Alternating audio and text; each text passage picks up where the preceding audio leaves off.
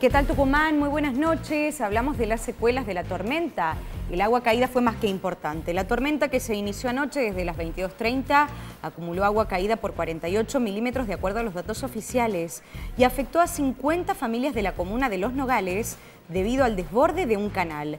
Geográficamente, la lluvia se concentró en esta capital, Las Talitas, Alderetes y Los Nogales. Hubo cortes de energía y varios pasajeros quedaron varados en el aeropuerto por la suspensión de los vuelos. Un hombre murió y tres personas resultaron heridas como consecuencia del vuelco de un auto ocurrido en el kilómetro 14 de la ruta 308, a la altura de la localidad de La Madrid. El accidente se produjo ayer en horas de la siesta, según informaron fuentes policiales.